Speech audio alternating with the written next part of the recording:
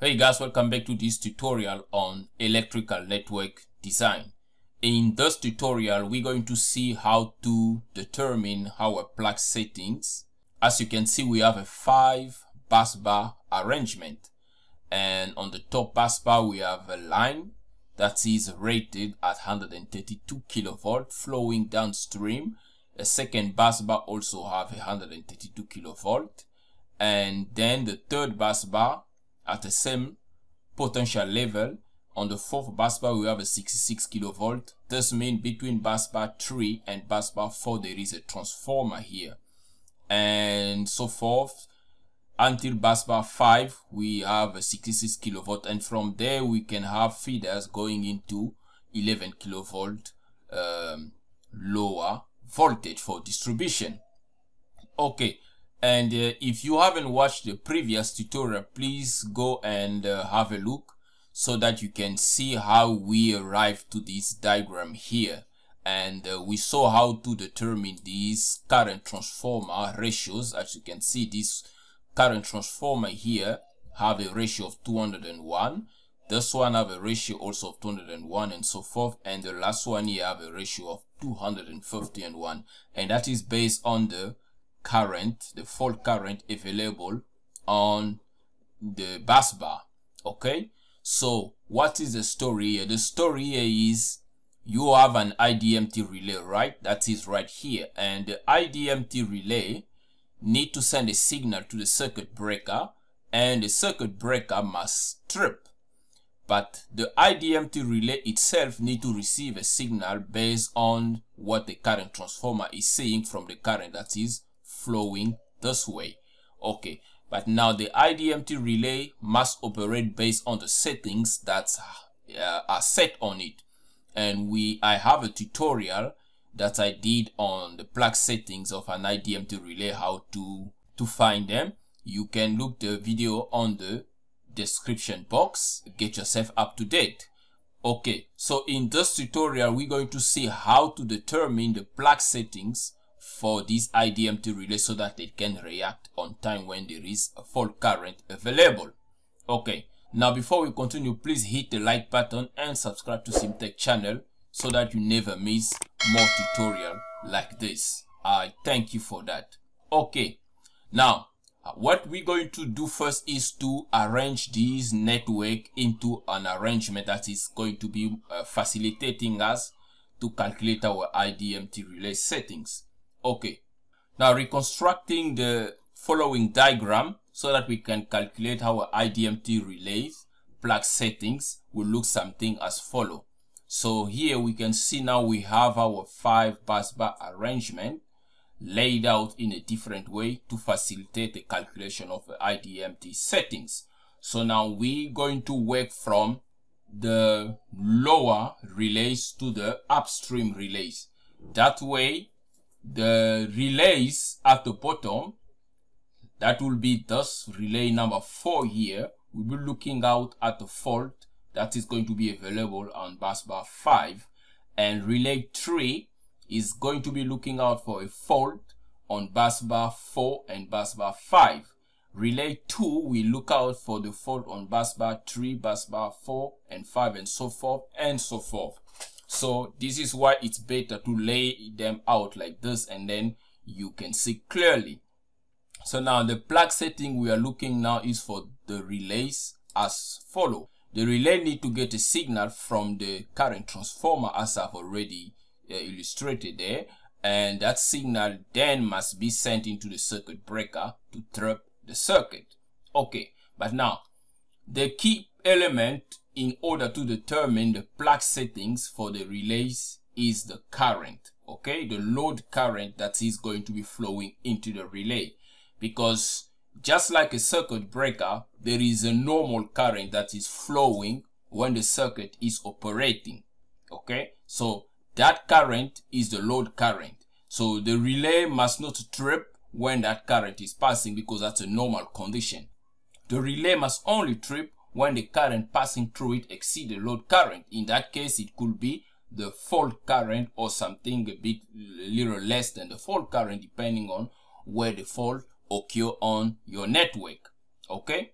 Now without any further delay, let's go ahead and calculate the plug setting that is PS4 for relay number 4.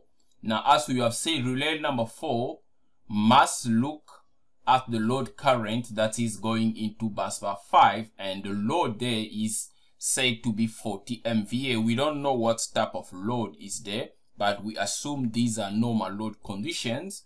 So we assume there are no motors or anything that can sky high the current, but we assume it's just a normal load. So it's 40 MVA. So in that we can then calculate the load current based on that. So the plug setting for relay 5 with a load of 40 MVA will then mean if we know that S load is VL times IL times square root of 3 in a three-phase system, then our load current is given by the formula uh, below.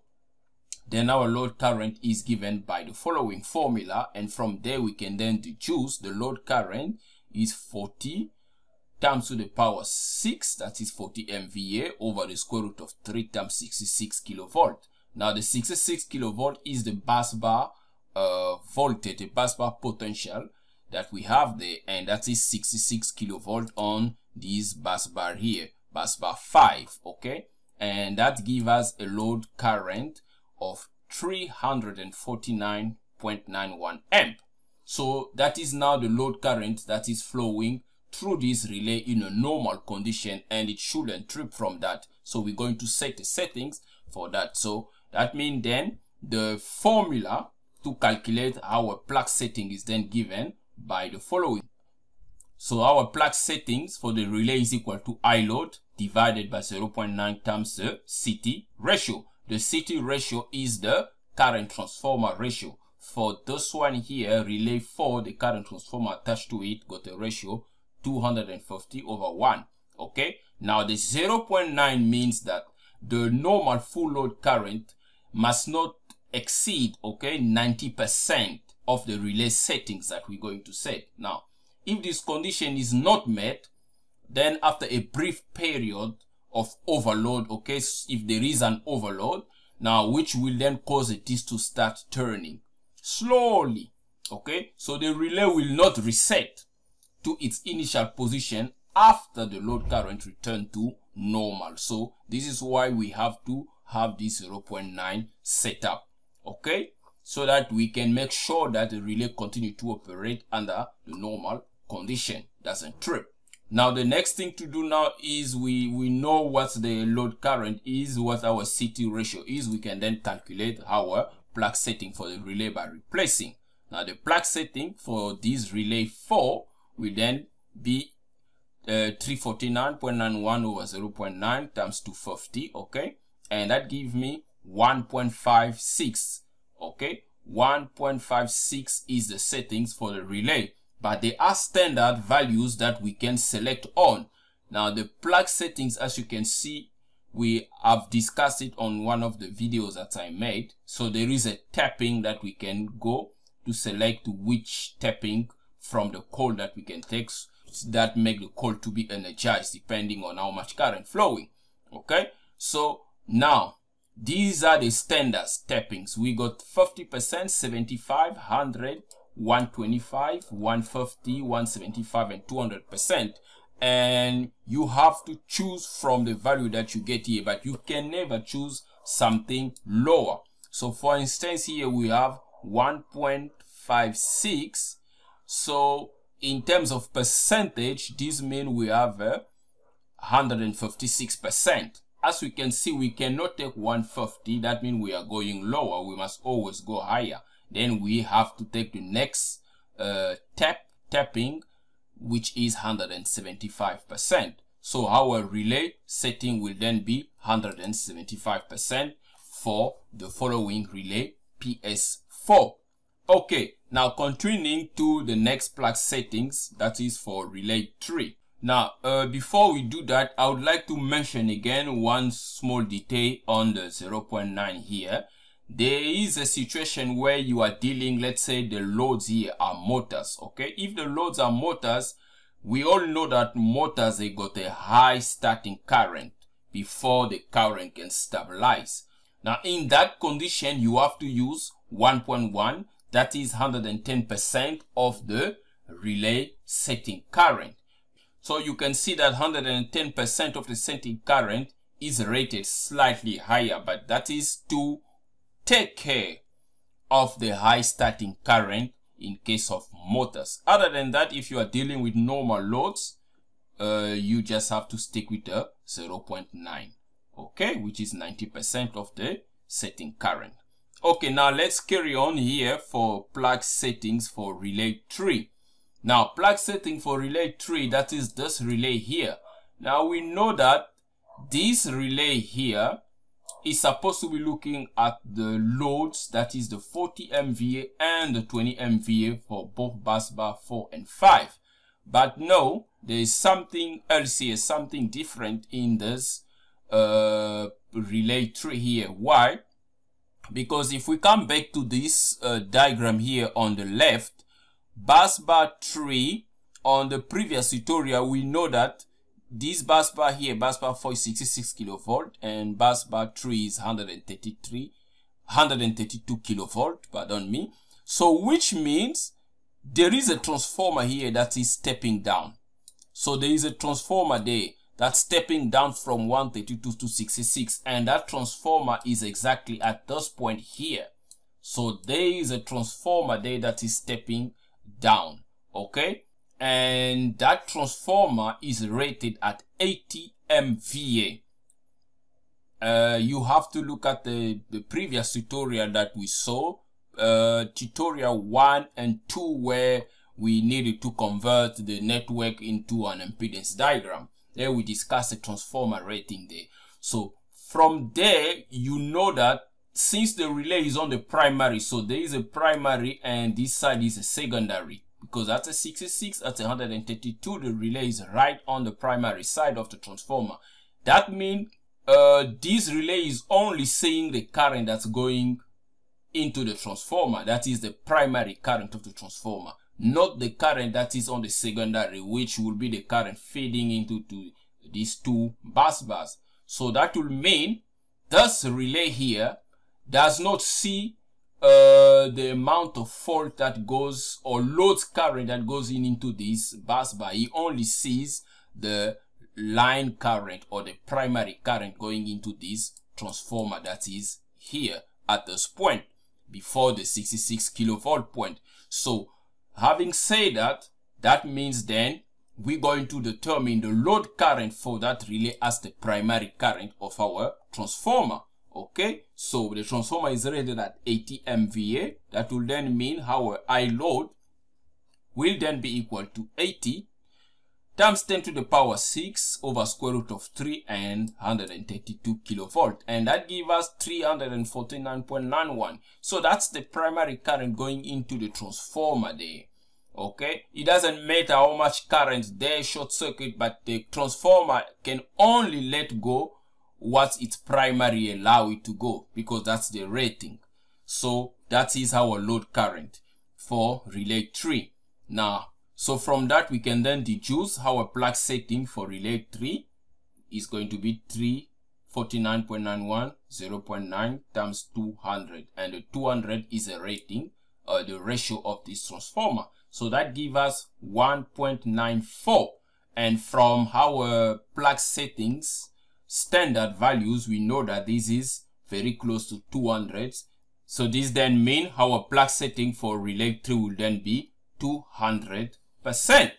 Okay, so now we found the plug setting for relay 3, relay 4. The next thing to do is then the plug setting for relay 2. So moving on, we can then calculate the plug setting for relay 2. Okay, and once again, relay 2 is only going to see the load current as the primary current that is flowing from here all the way down to the primary current of this transformer that is located here. Okay, as we have seen there, the transformer is located at that point. So which means this relay here, that is now relay 2, is also going to see exactly the same current that is flowing down here to that transformer.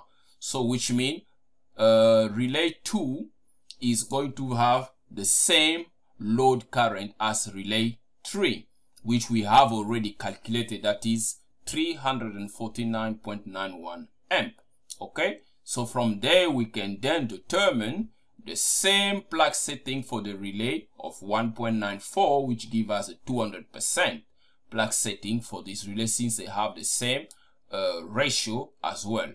Okay now the next one is to calculate the plug settings for relay 1 ps1 the plug setting for relay 1 okay now it gets a little interesting because even though we still have the same primary current that is flowing there but now remember there is something else attached to bus bar 2 there is another load of 20 MVA here. So that load is also being seen by this relay 1 so which means we're going to have two currents so one current is going down this way and one current is going down that way so it's splitting okay so we cannot say that because there is a 349.9 M that's going on there. So the other current is going down here. That means there will be less current there. No, no, no, no, no. There is a 349 amps that's flowing this way. So that will mean there is another current that's flowing here. So which means at this point here, there is going to be a much bigger current here. That must be something around 400 uh, amps of current because it need to split one going down there the other going this way so in that way we first going to calculate the load for the 20 MVA uh, load attached to bus bar 2 okay and then we're going to add it plus a primary current of transformer 1 so that will mean the load for our bus bar 2 with a 20 MVA load with a 132 kilovolt because the bus bar here is 132 at that point there. And we get a current of 87.48 amps. And from there we have I load 2 that is going this way and that give us 349.91 amp so we have two loads current that we then need to add because that is the big I that is flowing through this current transformer that this relay is supposed to get a signal from. So from there we then have a total load current of 437.39. So that is the current at this point 437.39 amps are flowing here. So they're splitting at this point uh, 87 is going down this way to feed this load here and the 3 49 is going this way to the primary of the transformer to feed these other loads there. Okay, so from there we can then calculate our plug settings by replacing the current. We then find a value of 2.43 and from the standard values we know the highest is 2 that is 200% so we can't go any lower or any higher. So that is 200% that will be the plug settings for relay 1 okay. So thank you guys for watching this tutorial. Please i will appreciate a thumbs up and subscribing to CMTEQ channel. Hit the bell for more tutorial like this. In the next tutorial we then going to see how to calculate the timings for these relays when must they trip when something abnormal happens since we just found the we just determine the plug settings the next thing is now the timing for them to trip. Thank you very much. Stay tuned for the next tutorial. Cheers